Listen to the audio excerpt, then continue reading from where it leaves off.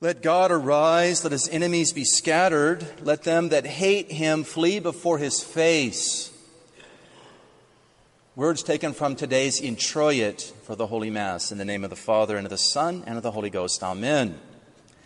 Now, these words of the introit this morning come from Psalm 67 and are held by great saints and exorcists like St. Athanasius and St. Anthony of the Desert to be among the most powerful words of the sacred scriptures against the devil. Whenever the evil fiends of hell attack St. Anthony in the desert, these are the words he would often pronounce against them. Let God arise, let his enemies be scattered, and let them that hate him flee before his face. Thus, not surprisingly, the church employs this same verse in key places of the official rites of exorcism. Now, how does God arise and scatter his enemies? How does he fulfill this passage he himself inspired?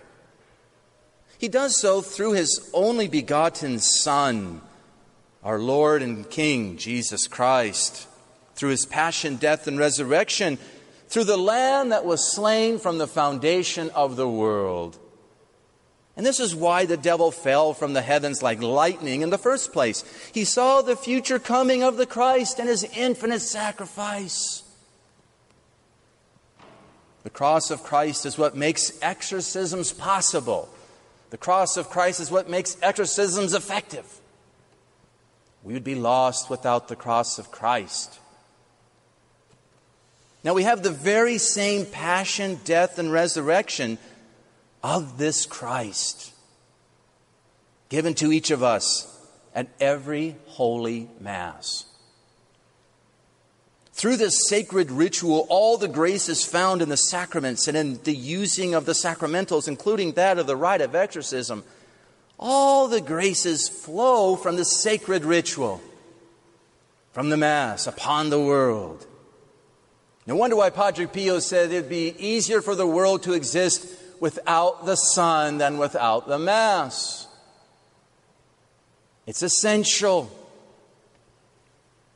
In a word, through the Holy Mass, God arises and scatters his enemies down through time and space.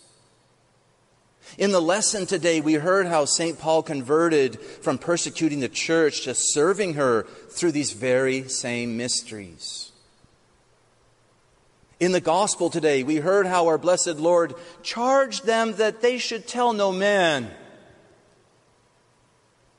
Throughout his public life and works, His Majesty told nearly everyone that knew something of him, including demons, to be quiet and not reveal that he was the Christ. Now, why did he do this? Simply because our Lord does not reveal himself without reference to the cross. Since the cross was still in the future, he wanted his identity kept as hidden as possible until Calvary had arrived. When St. Peter, inspired by God the Father, infallibly declared our Lord to be the Christ, the Son of the living God, His Majesty immediately told his disciples that he must go to Jerusalem to be put to a painful death and rise again. In his transfiguration on Mount Tabor, he discussed his exodus from this world with Moses and Elias.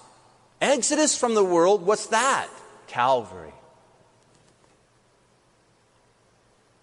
When our Blessed Mother first revealed him at Cana in Galilee, he spoke of how his hour had not yet come.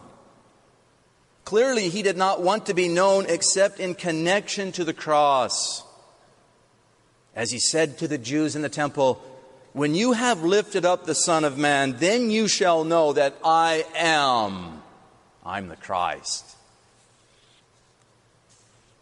The same is true for all time. And so we have the Holy Mass, which is, in truth, teaching of the church, the representation of Calvary, making Calvary present again. This is where he especially wants us to approach him, to know him to love Him and to call upon His name. And this is where He wants us to bring our sacrifices, our crosses, our troubles and trials. Are we uniting our sufferings with His at Mass? The saints always made sure they had a cross when they went to Mass. If they didn't have a cross, they went and picked one up to bring Christ something to offer.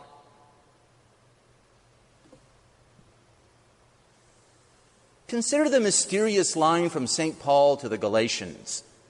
Very interesting. Galatians chapter 3, verse 1. O senseless Galatians, who has bewitched you that you should not obey the truth? Before whose eyes Jesus Christ has been set forth crucified among you. Now, notice it was Jesus Christ crucified that was set forth for them to see. How is it possible for people living, huh, in another time and place to see Christ crucified with their own eyes, but in and through the Holy Mass?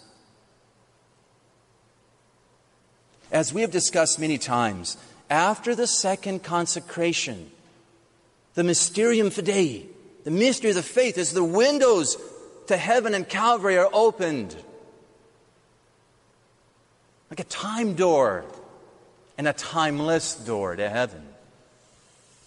At this point, the priest professes to our Heavenly Father that the oblation now on the altar is no longer an earthly offering, no more bread and wine, but the body and blood of His divine Son. The priest essentially says something like, Father of infinite holiness, the victim so long expected is here before Thee. Behold, this thy eternal Son, who suffered a bitter passion, rose again in glory from the grave, and ascended triumphantly into heaven. Here is thy Son on Calvary. Will you not accept this perfect and spotless sacrifice? Will you not arise and scatter our enemies and remove the permissions they have to hurt us and thy holy church? Now, in the gospel, we also hear of His Majesty groaning as He performs a miracle. Once again, it's a reference to His passion and His death on the cross, without which He will not work such wonders. Cures are not cheap, they cost something. They require the death of the Son of Man. In the same line, Recall the famous passage from St. Paul's letter to the Romans. Likewise, the Spirit also helpeth our infirmity. For we know not what we should pray uh, for as we ought. But the Spirit Himself asketh for us with unspeakable groanings. Romans chapter 8. Now, having read many lives of the saints, it is hard to find one that literally groaned as some would interpret this passage today. No. This groaning is available to every Catholic through the Mass. It is the Holy Ghost making the connection for us between this particular time and place to that of Calvary, such that we can unite our sufferings, our crosses, our prayers and petitions with that of Christ groaning on the cross. Our groanings, our sufferings, our prayers, united to His groaning, being offered to God through the Mass. That's effective. That's pleasing to God. Let us then take advantage of this mysterious connection of our Lord's efficacious groaning by praying devoutly at Mass. Let us avoid having to get up and use the restrooms, moving around, distracting others. Do all that before Mass. This is a very, very important event. Let's take advantage of it. Let's not belittle it or demean it in any way we can avoid. Now, humor me a little more. Perhaps we can think about what is going on in terms of prayer and perfection, what's going on at Mass. Now, it's a philosophical principle that when something is perfect, It is finished. It's done. It cannot be improved upon. If it could be improved upon, then it was not yet perfect to begin with. Now, if we were to review all of history, asking ourselves, who is the best of all prayers? Who's the best of all prayers? We would have to answer His Majesty the God man, Christ the Lord. His prayers are the highest and most effective since they're the prayers of the second person of the Holy Trinity united to our human nature in Christ. Then we can ask, well, what would be the best time of his life where we could unite our prayers to his? Ah, that would be the time when he was offering the greatest gift to God, the greatest sacrifice, namely himself completely on the cross. That would be Calvary. Thus, the perfect prayer, the perfect prayer, and the perfect time of prayer is Christ on Calvary. What is perfect cannot be repeated or improved upon, but it can be made present again. It can be represented through time and space by the power of God. That is what the Holy Mass is, folks. The making present of the perfect prayer, the perfect prayer, the perfect time of prayer, so that we can add ours unto His. Oh, how good it is to be Catholic, huh? How wonderful it is to be here. Do we know what we have? I think we would die, not of fright, but of love if we knew what the Mass really was. This means the best worship we can offer to God is the Holy Mass. It is the highest level of praise, adoration, thanksgiving, and petition we can offer. Now, humor me a little more. In philosophy and theology, we oftentimes learn something we're interested in by looking at the opposite. What is most opposite the Holy Mass but the so called Black Mass of the Satanists, of which we've been hearing much about of late? Think about it. The third temptation of Christ was that he should bow down and worship Satan to gain the whole world. Clearly, the devil wants to be worshiped. Third temptation of Christ. He wants to be worshiped as God. Therefore, how does God want to be worshiped? Through the Mass, highest form, the Mass. Therefore, the devil wants to be worshiped in his own form of the Mass. What does this say about the Catholic Mass? It says we have the real thing, and the devil knows it. Amazing. He is not making a parody of the various rituals of other religions or Protestants. No. He wants a black mass to fulfill the third temptation of Christ. What is needed for Satan's black mass to be most effective, to be most pleasing to him? Well, among other things, a consecrated host stolen from our altar or from our tabernacle. He needs a consecrated host, or even better, I hesitate to even say it, they need their own validly ordained priest. Sad to say this has happened and is still happening. That is, priest consecrating for the sake of evil, which is an automatic excommunication reserved to the Holy See, to the Pope. Church reserves these. She calls them graviora delicta, very grave, delect sins. Some of the worst things that can be committed on the earth. Probably the worst. In the canon law, it reads, for example, one of these reserved sins, throwing away the consecrated species or for a sacrilegious purpose, taking them away or keeping them, stealing hosts. Now, why are they coming to our churches to steal our hosts? They don't want a host from another church. They've made it known we only want it from a Catholic church or a valid consecration. Now, we know there's been many tabernacles stolen in the recent decades. This is going on. Now, why would they want one of our priests to sin in such a grave manner? Again, it screams out, as it were, it is because we have the real thing. Our priests have true sacramental power to consecrate. We have the real presence of Christ in our tabernacles. And the devil and his followers know it. It's good to be Catholic. You're in the right spot. Whatever the devil does, you want to do the opposite.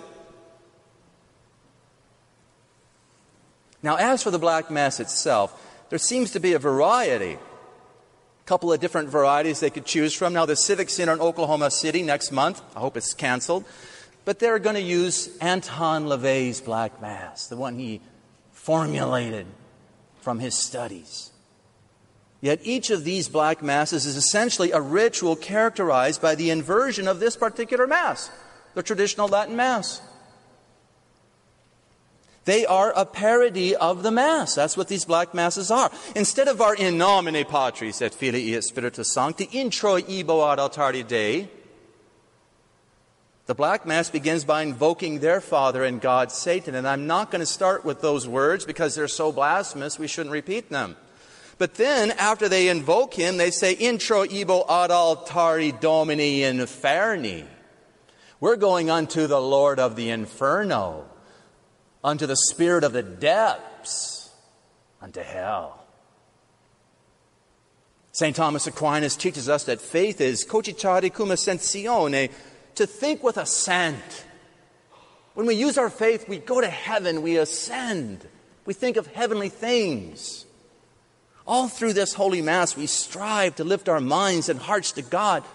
Sursum corda, we exclaim, lift up your hearts. In the Black Mass, however, it's inverted. Those attending are to think with dissent. We strive to go up, they strive to go down. We have our Father above, they got their Father below. Now, in the third temptation of Christ, recall how the devil offered his majesty the whole world if only he would bow down and worship him. What was our Lord's response to the devil? Begone, Satan. And the scriptures say the devil left him. Now, in the end of the Black Mass, not surprisingly, it's the opposite. They say something like, Welcome, Satan, and he remains. He comes among them. In other words, the Black Mass gives the devil permissions to work in the lives of those who attend, to answer their petitions, to those who give themselves over to Him. Whereas the true Mass, when properly understood and prayed well, works to remove the permissions that the devil has obtained based upon our sinful lives. We can have those permissions removed at the Holy Mass. And He'll stop harassing us.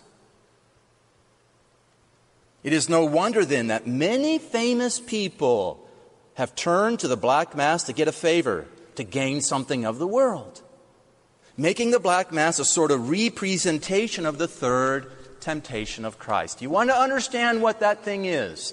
There it is. It is the third temptation of Christ made present now. Scary. Now, something like this happened in Paris, France, under the 17th century King Louis XIV, the so called Sun King. He had sadly fallen in with a mistress, an innocent girl who later left the king to spend her life in a Paris Carmel to make reparation. But she was replaced by a most wicked woman, and maybe her replacement was by design.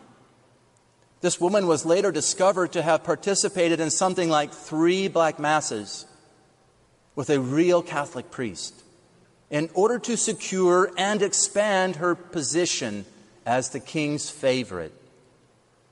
Keep in mind that this same king, Louis XIV, is the very one whom St. Margaret Mary petitioned to have France consecrated to the Sacred Heart. and he failed to heed her request. As a result, the French Revolution came about, and the explosion of the occult we are now experiencing started in that revolution. It grew out of that revolution. What I'm saying is that maybe his failure to consecrate France to the Sacred Heart has more causes than we want to admit. We should be enthroning the Sacred Heart in our homes to undo anything the devil is working on in our lives. But if you look at the French Revolution, Napoleon, shortly after it, was an avid palm reader. He would read your palm. He went down to Egypt and resurrected Egyptology and all things Egypt. Magic burst forth from all that.